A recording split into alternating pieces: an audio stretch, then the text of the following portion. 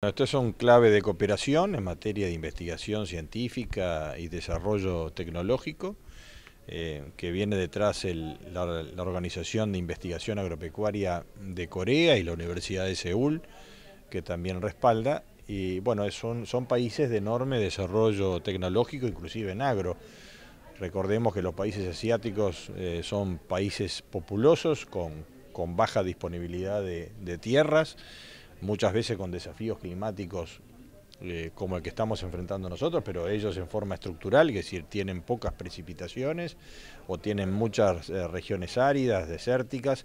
eh, y esa presión poblacional los hace que hayan tenido un desarrollo este, tecnológico en la agropecuaria importante. En este caso estamos hablando de biotecnología,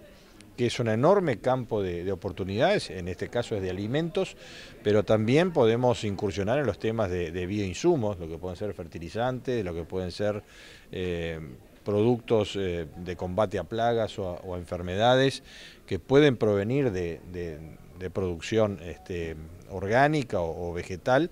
eh, y que pueden desarrollarse para sustituir muchos productos químicos, con lo cual también apuntan a mejor sostenibilidad de los procesos productivos el gran desafío de la humanidad es poder alimentar a, un mundo con población creciente. Eh, hoy tenemos eh, casi el 10% de la población mundial que, sufre hambruna y tenemos eh, casi un tercio de la población mundial que tiene problemas de malnutrición, sea por exceso o sea por subnutrición. Y evidentemente estos son los grandes desafíos que tiene la humanidad y donde hay problemas de seguridad alimentaria, hay problemas de carácter social, de carácter político y inestabilidades este, que hacen a la convivencia y hacen también a conflictos, muchas veces eh, dentro de las sociedades y entre países.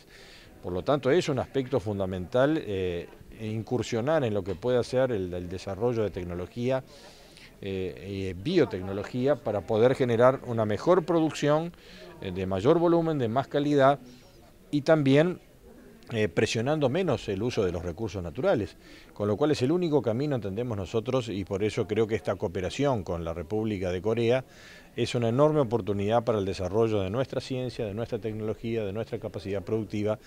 porque en muchas áreas de la biotecnología nosotros somos importadores de biotecnología y nos podemos transformar en generadores y en exportadores eventualmente, lo que daríamos un paso hacia adelante más allá de que Uruguay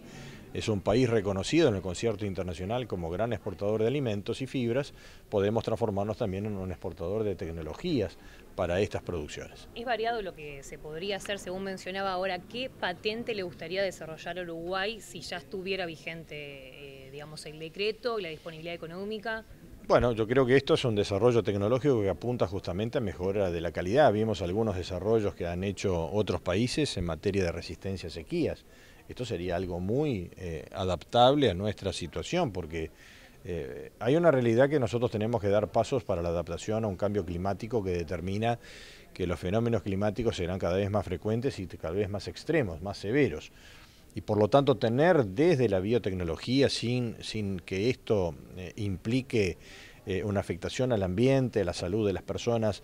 tener instrumentos o herramientas que podamos justamente tener altos rendimientos productivos a pesar de los problemas de una mayor incidencia de sequías o de enfermedades. Fíjense ustedes que, la relación de cambio climático ha determinado que hay, avances eh, de algunas enfermedades que son muchas veces transmitidas por vectores, como el caso del, en el área de la, salud humana, como, como, el dengue, la chikungunya o la leishmaniasis, que es a través del flebótomo que a través de que infecta al perro y puede ser una, una seria amenaza como zoonosis a la salud humana. Todas estas cuestiones también están de la mano de un cambio climático. Por lo tanto, creo que tenemos que tener una cantidad de herramientas y respuestas que eh, los tratamientos tradicionales que se utilizaban en el Uruguay hoy no son suficientes. Hoy tenemos eh, un desafío cada vez mayor con la garrapata. Vamos a tener ahora justamente una, un, apoyo eh, de un convenio con Panamá y el Departamento de Agricultura de Estados Unidos para el control biológico eh, de lo que es eh, la mosca de la bichera. Entonces hay, una cantidad de pasos que entendemos nosotros que debemos de dar para adaptarnos a una realidad de cambio climático que nos desafía desde el punto de vista sanitario y productivo, para lo cual tenemos que adaptarnos y esto sería una herramienta también eh, para avanzar en, lo que es el desarrollo tecnológico propio. Entonces la ciencia y la tecnología aplicada en el Uruguay a través de la cooperación eh, con los propios este, institutos de investigación del exterior, este es el caso de Corea, pero hay otros países que también así lo proponen, me parece que es un, enorme, un gran paso que da el Uruguay para la mejora y dar, dar una escala, escalar productivamente, este, protegiendo eh, su medio ambiente y generando producción sostenible. Ministro, eh, eh, está comenzando el invierno, ¿algún producto se verá afectado por lo que fue la sequía de cara a este invierno? Pensando en frutas, verduras, ¿qué, se puede decir al respecto? No, es el mismo patrón que, teníamos, ¿no? no es la entrada del invierno y sí la sequía, terminamos un otoño muy seco. Eh, hay zonas del país que, en el primer semestre del año, en lo que va del año, mm, llovió menos de 100 milímetros, cuando debiéramos estar eh, superando los 500 milímetros. Entonces estamos en un régimen pluviométrico que afecta mucho. Eh, la granja ha tenido una recuperación parcial porque en el caso de los ciclos cortos de hortalizas eh, eh, hay, un abastecimiento pleno, entró la zafra del norte que no fue tan afectado por la sequía, el sur está respondiendo también, pero lógicamente aquellos, aquellos cultivos o productos anuales como los de la fruticultura, eh, hasta que no venga el nuevo ciclo de peras y manzanas no, va a haber una reposición de producción, pero hasta ahora el abastecimiento es de, es de fruta nacional, seguramente más avanzado el año tendremos alguna necesidad que estamos acompañando y monitoreando. La papa que en algún momento estuvo, estuvo escasa, se, hubo, que importar, se le abrió justamente el canal que a través de los productores este, organizados lo pudieran hacer. Ya vino la zafra de otoño, es una zafra menor en producción, pero sirve para el abastecimiento. Eh, y en ese sentido estamos este, acompañando rubro por rubro en aquel equilibrio de tratar de generar una plaza abastecida, Fíjense ustedes que el propio comportamiento ha determinado que la presión inflacionaria que generó la fruta, que todavía, la fruta y la verdura, que todavía es importante, se dio en el mes de mayo y esperemos que en el mes de junio continúe en esa misma tendencia. Con lo cual tenemos que cuidar los equilibrios entre abastecer la plaza, que la población eh, no se resienta por excesivos precios de frutas y verduras, este, pero también cuidar eh, el productor nacional porque si abrimos indiscriminadamente las importaciones, eh, les estamos haciendo un tiro de gracia. A la producción granjera que ya viene muy golpeada que tuvo enormes gastos y, muy, muy, eh, un quebranto productivo muy importante, y si abrimos indiscriminadamente las importaciones, estaríamos sacrificando, tal vez con alguna pequeña ventaja en precios, no siempre es garantía que abrir una importación es una baja de precios, eso, eso también es un factor, pero sí estaríamos sacrificando ese productor que es el que va a asegurar la producción futura y por lo tanto tenemos que cuidar desde el gobierno esos equilibrios. ¿Tiene un rol el ministerio en la búsqueda de este mono que no, no se puede atrapar? Bueno, creo que está, eso es fauna y por lo tanto es, este, es Ministerio de Ambiente que está involucrado en la, en la captura del mono tití, pero bueno, eh, creo que tampoco hay una amenaza pública por ese tema. Y bueno, son, son astutos. Pero son que hay animales exóticos o que hay un ingreso de, animales que fuera del país que, ingresan al país. Bueno, eh, hay, todos sabemos que vuelta y media nos encontramos con con mascotas que no son las habituales y que obedece a un tráfico de animales que muchas veces es ilegal y que tenemos que tratar de combatir. Ayer mismo hicimos un lanzamiento de una campaña eh, para justamente generar conciencia pública de no generar eh, aspectos que parecen ser eh, inocentes, como, como la introducción de una planta o de un animal exótico, eh, que todo eso que pudiera ser muchas veces uno va a visitar a un familiar en un país vecino y, y terminan obsequiando como algo inocente que dentro del territorio no pudiera tener ninguna consecuencia. Pero estas, estos aspectos que son ilegales, pero muchas veces se hacen en forma inconsciente, pueden traer aparejados enfermedades o, pueden traer aparejados otras afectaciones que terminan siendo comprometiendo la producción nacional. Por lo tanto, más allá de los aspectos de coercitivos o de control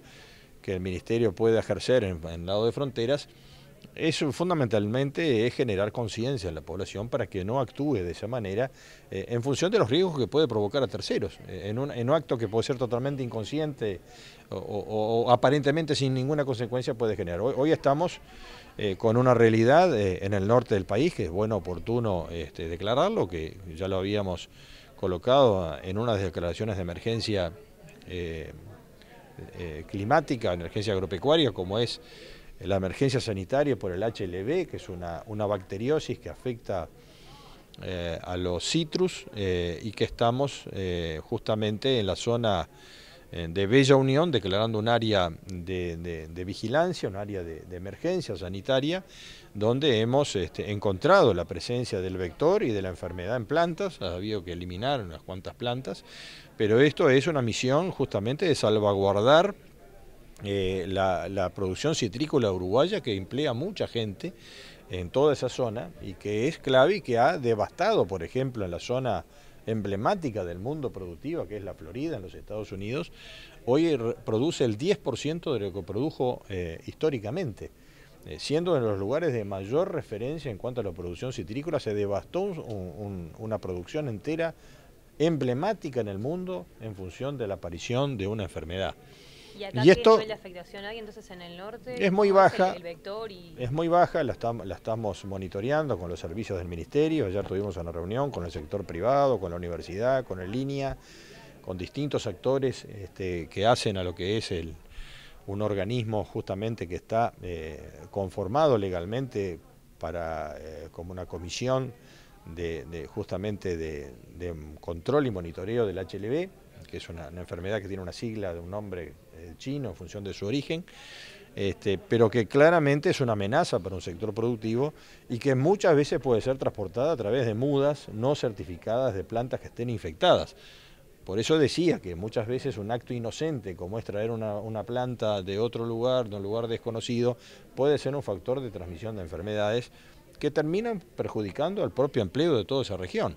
Eh, y perjudicando un sector productivo importante del país como es la producción citrícola nacional. ¿Afecta el fruto, afecta el árbol? ¿Cómo es el vector? Por yo no había escuchado esto hasta ahora, por eso le consulto. No, es un, es un, es un, este, un vector que, que es un insecto, eh, la diaforina citri, que, que puede estar o no infectada. En este caso hemos detectado primero el vector, Hace algunos años no se detectaba ese vector en el país, entonces hay un factor climático que hace